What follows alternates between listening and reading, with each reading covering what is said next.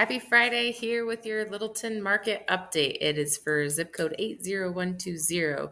We had 75 active listings this past week with a median day of 51 on market and 605 is that purchase price uh, pending or under contract. There's 30 and with a median of 35 days on market and 647 now, we are seeing, and we're seeing it in all of our listings as well as across the board, um, attached homes are definitely taking longer on the market. So, that is a trend that is just across the board in the Denver market area.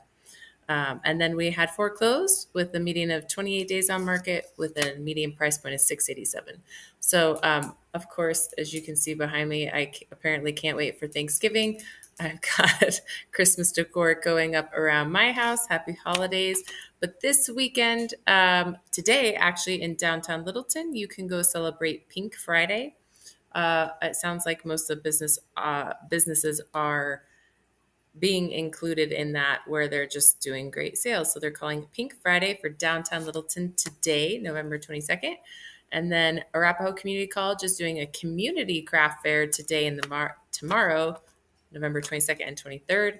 And then on the 24th, it's going to be there's a really cool World Children's Day at Bemis Library. It's from 10 to 4. They're going to have dancing, um, crafts, and drumming. It sounds like a pretty good time. So, um, happy holidays coming up. And there is your weekly Littleton Market update.